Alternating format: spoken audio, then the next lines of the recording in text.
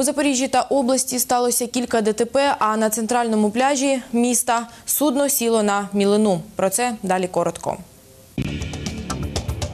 У Мелітополі сталося потрійна ДТП. Як повідомляють очевидці аварії, водій «Опелю», не впоравшись із керуванням, в'їхав у ВАЗ, що в цей момент стояв на світлофорі. Внаслідок зіткнення легковик виїхав на зустрічну смугу, де врізався у проїжджаючу славуту. Також, за даними очевидців, водій ВАЗу отримав травму голови. Запоріжжі нетверезий водій спровокував ДТП.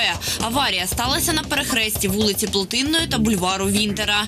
Як повідомляють запорізькі правоохоронці, автомобіль Рено врізався у припарковану автівку Рено Меган.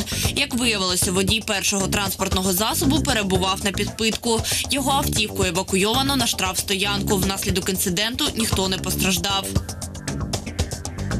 На центральному пляжі Запоріжжя великовантажне судно сіло на мілину. Наразі корабель знаходиться всього в кількох метрах від берега. Подробиці інциденту встановлюються.